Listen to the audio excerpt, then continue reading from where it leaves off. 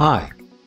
In the last video, I replaced the Pololu boards with the Pimoroni Servo 2040 board on my main hexapod.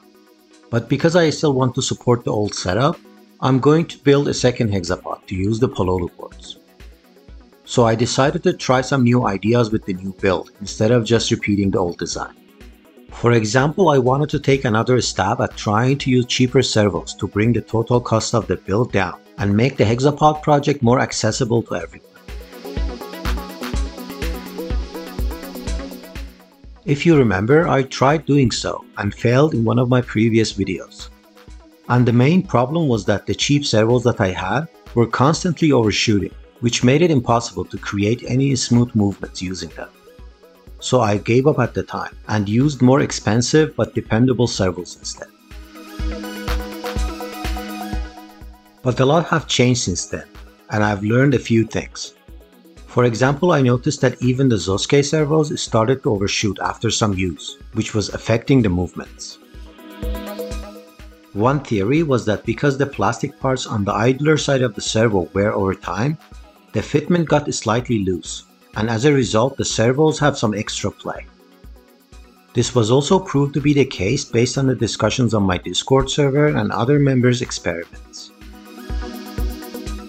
So I designed some new parts by keeping that in mind to use with my MG996 servos and gave it another try.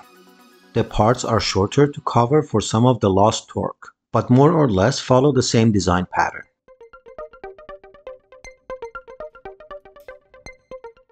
For this test I'm using a 6 volt battery with the Pololu board and the latest Chica app. and as you can see the overshoot is completely eliminated and seems like I'm on the right path for being able to use these cheap servos.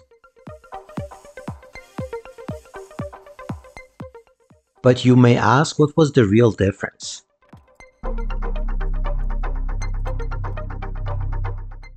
The actual fix was pretty simple, and the key was this little ring inside the servo backpiece, which adds just a tiny amount of friction to prevent the overshoots. The advantage of using a ring like this over just fitting the parts tightly in the first place is that the ring is super easy to print and I can just swap it out for a new one once it wears down.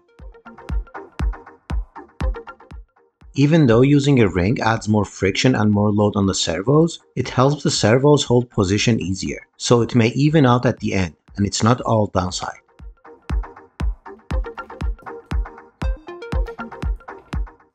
So far it works perfectly as you can see here.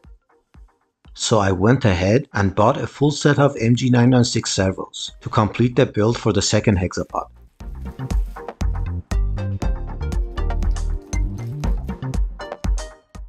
My hope is that by using these servos along the Servo 2040 board, we can release a low-cost version of the hexapod for just under $150. And once I unlock the full potential of the smartphone, such as the vision and the long range FPV, this setup will be extremely hard to beat price wise. That's why I'm really excited about this project and wanted to share my progress so far. And I can't wait to complete the new hexapod and show you the final result. But that will be in another video. That was it for today. Thank you for watching and see you in the next video.